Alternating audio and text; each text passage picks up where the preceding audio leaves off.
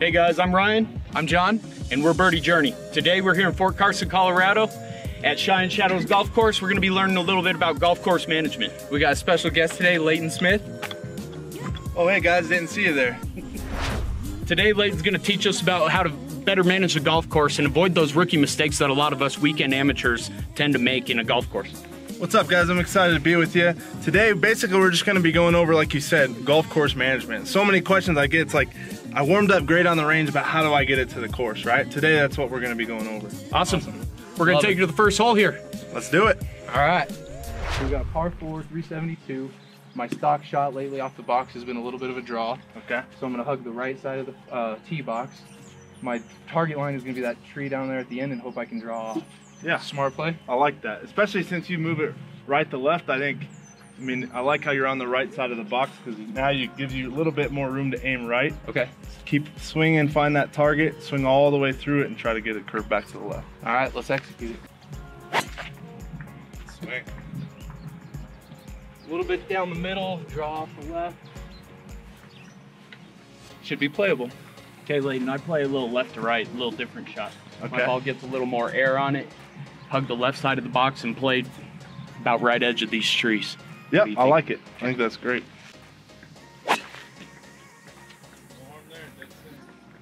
All right, so now what would you do here? So guys, the first thing I do when, I, when I'm on the tee, especially if I've been able to warm up a little bit, I like to kind of feel which way the ball's going. Okay. Even if may, maybe I'm a little bit off and I know that I'm missing right, I kind of have that mental knowledge. So when I set up on this hole, I'm not seeing any hazards on the left or right, nothing to really worry about. So I'd kind of play my stock shot, which is a little bit of a cut. So what I like to do in that case is I come over to the far right side of the tee box. Okay. I'll throw a ball down, and when I get behind it, part of what I'm doing here is picking my line, and I'm trying to see, visualize which way the ball's curved, sure. right? So no matter what, I would say on this swing, what I like to do is eliminate half the hole. Okay. Okay, so what that means is, if anything, I'm gonna expect this ball to spin to the right. Ideally, I'd like to keep it in the fairway, but I know that if I grip it and rip it, my miss is gonna be on the right, and in this case, that's not gonna put me in any trouble. Sure, okay. So you're taking out one side of the fairway to eliminate any trouble to your shape. Exactly. All right. Nice draw. Nice little cut. All right, cool. Okay, Leighton, so obviously on mine it went straight, kind of went where I wanted, but I did get under the ball a little bit, so I left a lot of distance. Without being up there, it looks like I'm probably still 200 yards yeah, out. about 200. Is it better to go for the green here or to just get a little closer and try and get a chip shot in? You know, this is where I'd say it's kind of going with what you're comfortable for. The main thing I look at, and whether you go for it or not, is what trouble's up there. So you can see if you do rip it, let's say you step on an iron, get it all the way up there, hybrid, whatever it may be. Sure. There's no water, there's no severe bunkers up there, so I kind of like the thought of just going for just it. Just going for it? Yep. Great. So as we walk up to our ball here, I already like to kind of take in kind of where are the mountains. In Colorado, we know the ball tends to break away from the mountains. Sure. We like to look up at the green, see what hazards are there, if there's any water. And now we know we have about, you know, 30 second walk to our ball, but we're already thinking, we're looking at the wind, we're kind of looking at the lie up there. We're seeing if there's anything crazy we need to take into account, sure. right? And this is where, if there were water, let's say short of the green, this would be a time you're starting to process if you want to go ahead and lay up okay. or if you do want to grip and rip it. Sure. As we said, in this case, not much trouble up there. So I'd say once we get up here, a couple deep breaths and we grip it and rip it. Sounds good. Okay, so this is kind of my in-between shot. We're about 190 out right now, so I'm in between a seven and a six. That's how I play. I can overswing a seven, and then I have that chance of bleeding it off. Yeah, exactly. So what I like, when I'm in between clubs, usually the safest bet, and it kind of depends on wind and lie, but would take the six and just do a smooth kind of three-quarter swing, you know? Great. We all get in trouble when we try to rip it too much, and that's adding spin to the ball, which is, you know, causing Sure, absolutely. Now I have a little trouble stopping the ball. Should I aim a little short since that grass is tall, or just aim center of fairway? I like green? it, yeah, I like center of the green, kind of right at that hut just left of the pin. Great.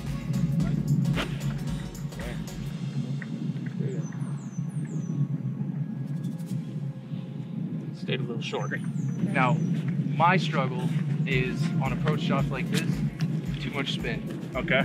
So I don't know how I generate that kind of spin. Yep. if it's the greens I'm playing or if it's something that I'm doing in my uh, swing. Sure. So when I take that kind of approach, am I looking because it's not a consistent spin either. Right. So am I going to want to always play long or am I going to always want to play short? Good question. I'd say it depends. And what's causing that that spin on the ball is, you know, when we when we catch it really smooth and, kind of a solid contact strike, and we're hitting down on it. Uh-huh. So in this case, it looks like we have about 110 yards. Depends a little bit on the right side of the green, which means the safe side would be the left. Okay. So if you're spinning it, especially this would be the yardage to do that, I'd say we play it about 113 or so. So and if we spin long. it back, great. And if not, we're left for a 10 footer for birdie. Okay. And then, so do I want to think about like leaving myself because this doesn't have too much slope or anything like that. Right. And one of the things I think about too is I want to always leave myself an uphill putt because when I have downhill putts, I cannot get the touch with the break. Right. So I can be a little bit more aggressive with a harder and more room to miss with an uphill putt. Right. And that's where in this case I like that pine tree behind Okay. the green. And that line would be just a little bit left of the pin. And again, that's the safer side of the green to aim. And the main thing with yardage control, whether we're spinning or not, is to have the number in your head. So Okay. when you grab this, we know we want to hit at 113. So that means we can hit, you know, a full lob wedge, a sand wedge, a gap wedge, whatever it may be. No matter what, the practice swing needs to emulate 113 yards. So that's our number. That's the only thing we're thinking about. Yep, Our from- line and our number. You got it. From there, it's just deep breath, trust yourself, let it go. Cool. Got about 110 yards, but we're gonna play this about 113 left on that pine.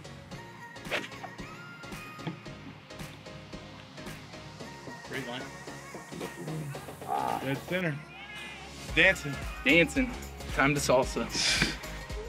Okay, Leighton, so I'm sitting about 15 yards off of the fringe of the green here.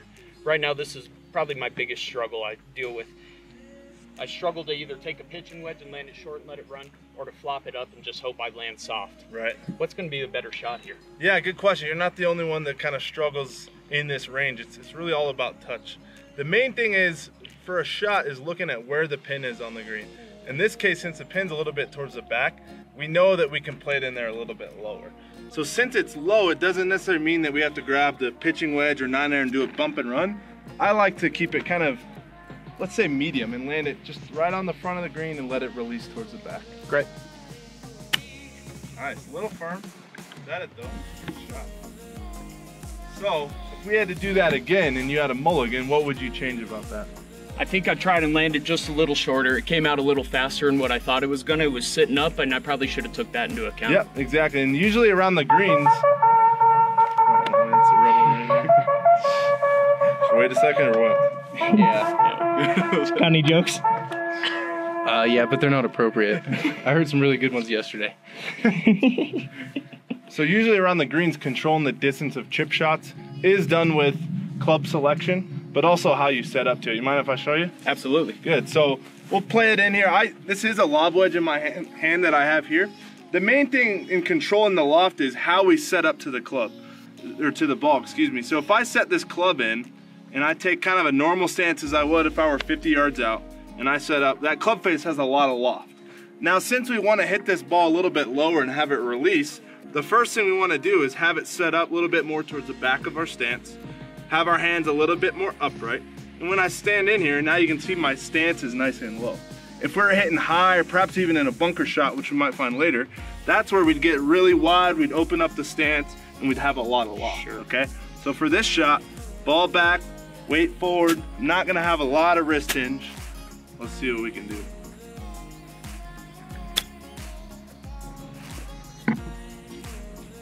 Thank you.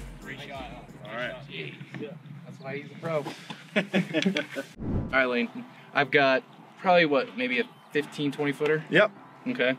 Little slider. There's three things that I look at when I'm putting. One, distance. Yep, absolutely. Do I have a hill? Do I have a ridge? What am I working with? Am I downhill? Am I uphill?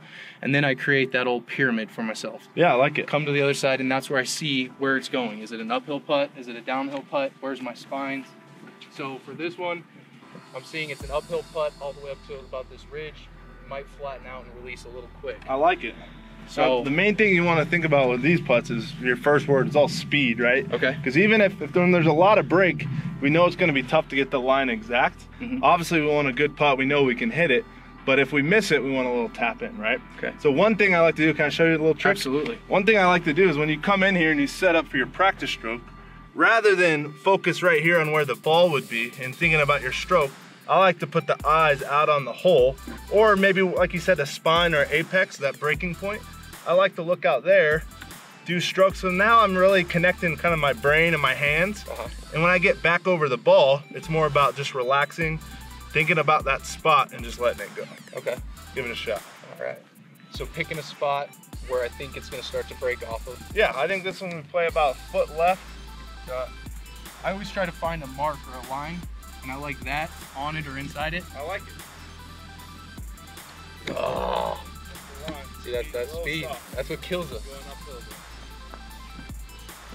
It. Yeah, the dreaded three putt. The dreaded three- on into. We got time though, we'll get it going. So that's obviously an amateur common mistake.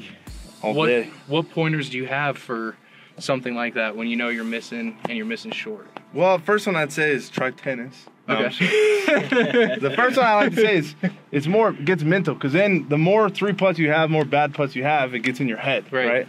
And then the next putt you have for par that's six feet away, you're thinking, oh crap, I just missed on the last three holes.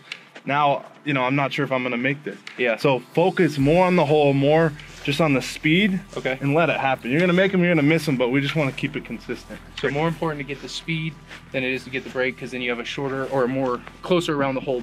Exactly. And the closer we get into the hole, then it's more about line since we know we'll get the speed right. Cool. Does that make sense? yes, sir. All right. All right. So tell us a little bit about your certifications and your PGA classification, if you will. Absolutely. Yeah. So in college, I went to the University of Colorado in Colorado Springs, and they have what's called a PGA Golf Management Program. Okay. So that program, it kind of lines you up. I went through the school of business at the same time and got a degree, but it lines you up to, you know, a lot of my peers wanted to be general managers or head professionals. I always knew I wanted to teach. So in that program, I'm learning about the golf swing, I'm learning about ball flights, but we also do internships. Okay. And I utilize those internships to try different golf academies. So I did a, a Nike Golf Academy in Northern Michigan. I worked with Hank Haney in South Carolina, and that's where Tiger Woods swing coach. all day. Um, former, Minor former, details. Former, minor, Former, yeah. minor detail. Um, anyways, with that, you know, when I was in South Carolina, that's that's when I in 2011 I turned professional.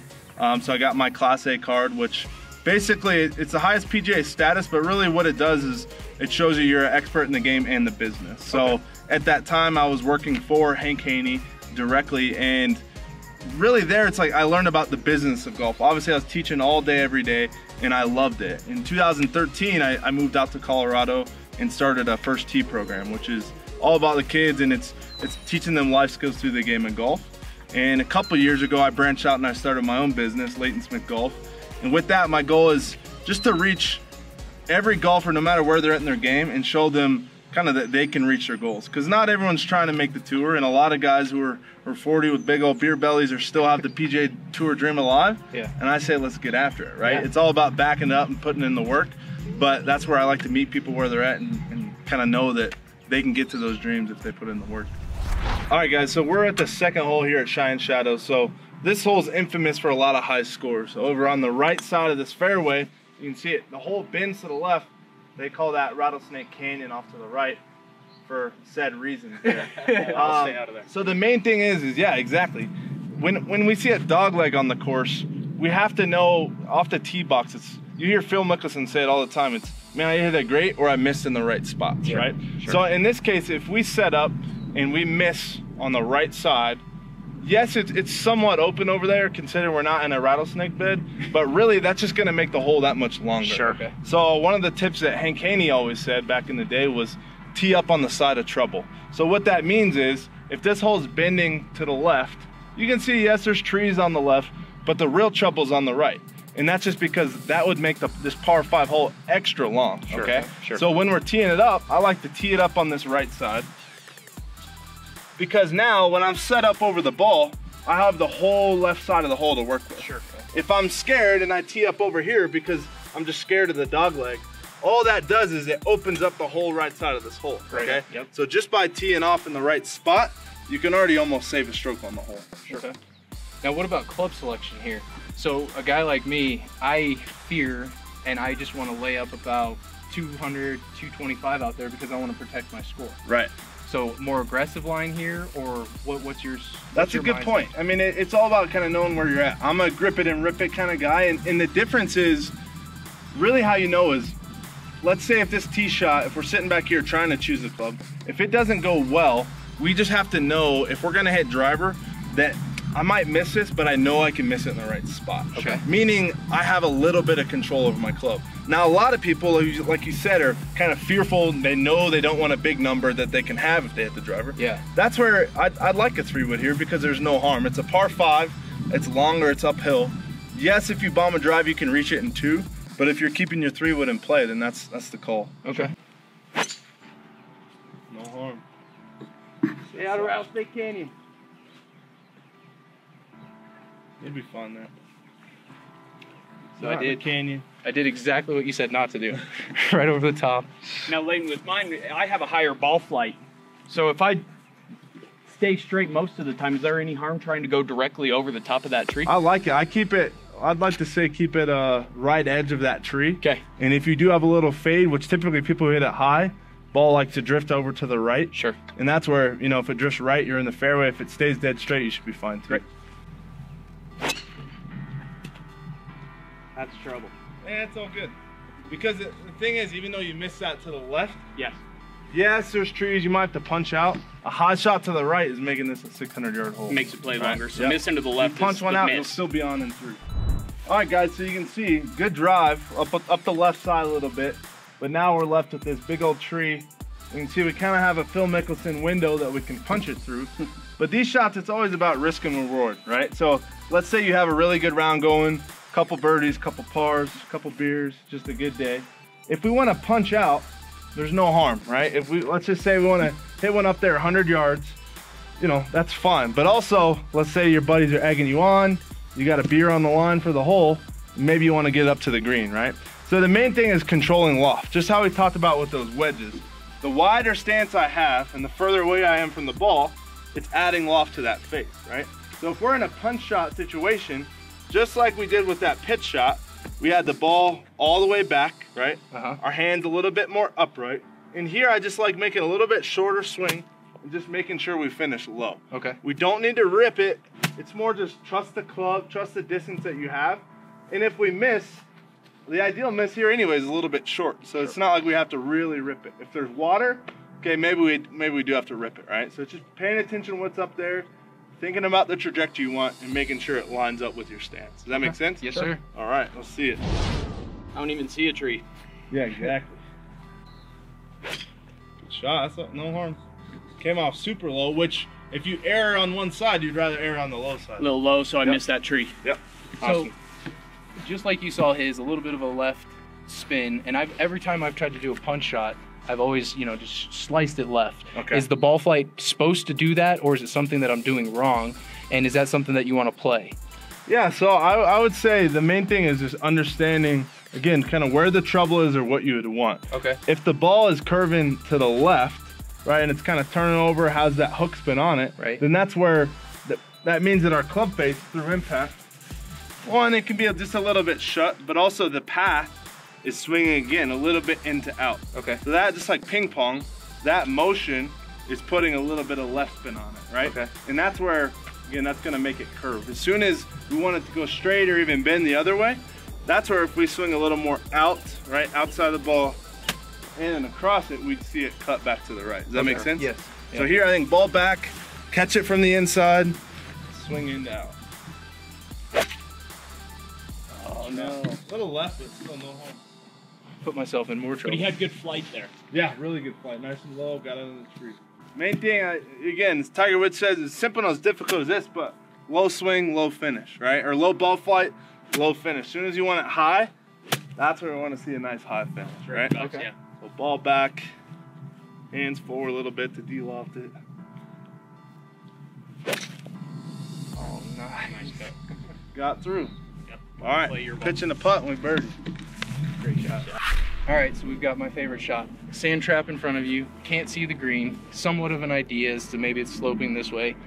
A lot of us amateurs won't go up there and look Right. and you know walk the green, get an idea as to where the land zone should be and stuff like that. So Right.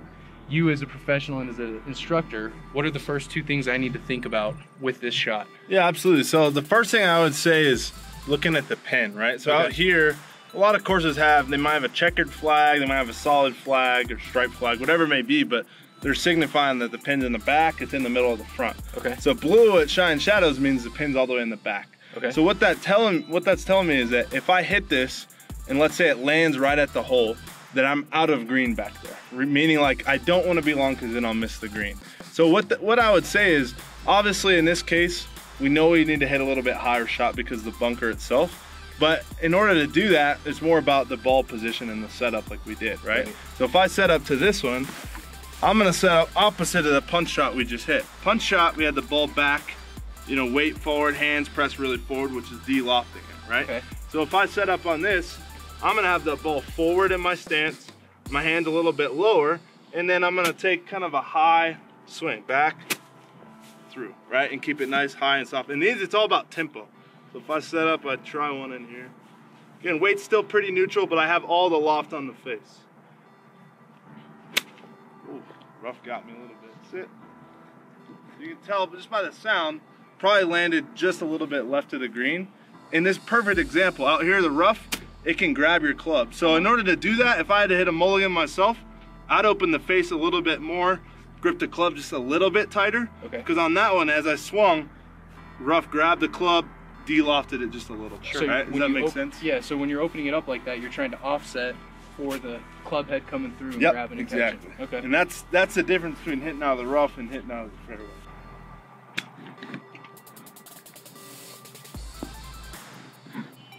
All right, so now we've got the opposite of what I had on the first hole. I've got a downhill putt. Yes. We're close to the mountain, so it's gonna break away from the mountain. You got it. Yep. And so anytime you're on the green, I like to just to look and find the high point of the green, which is usually going to be closer to the mountain. So this right here, this is kind of the high side of the green. So you can tell everything kind of wants to trickle all the way back down to that bunker. So the mountain is to influence influence the, the break. It's want to push it to the right a little bit. But the main thing here is like again, it's speed. So if we putt this, we kind of find the apex right of the of the break we just want that ball slowing down. Kind of the job back there that we're doing reading is like, where does the ball need to start slowing down, right? So if we hit, it pretty firm and it starts slowing down here, it's obviously gonna roll past the hole. So that's where the touch comes in. But again, when we take our practice strokes, I like kind of just thinking, picking a spot where I think what they say, the ball's gonna die, meaning it's gonna lose momentum and it's gonna slow down. That way it can just release and roll to the hole. Okay. right? All right. So I'm gonna pick my die spot, a little bit left, maybe about two balls out left. I like it.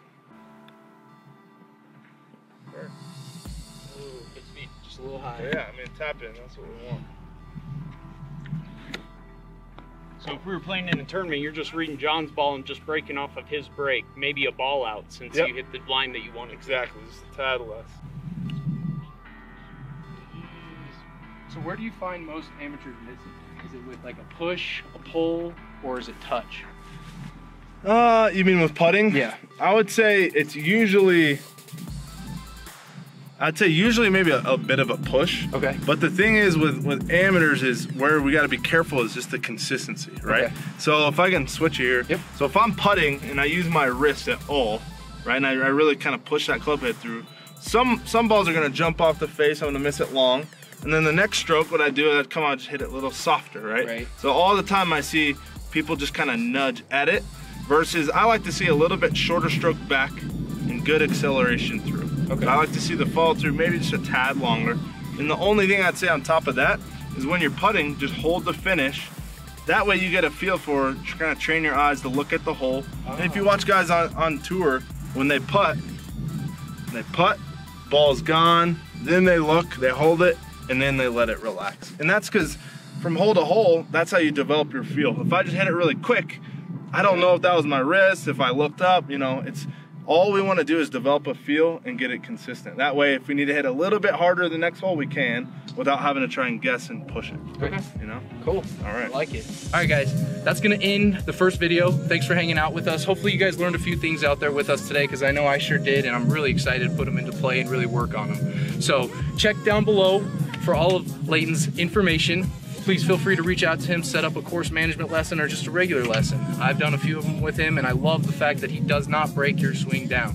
He works with what you have, so it doesn't get difficult. I love it. Check the link down below for part two. Thanks, guys. Thanks.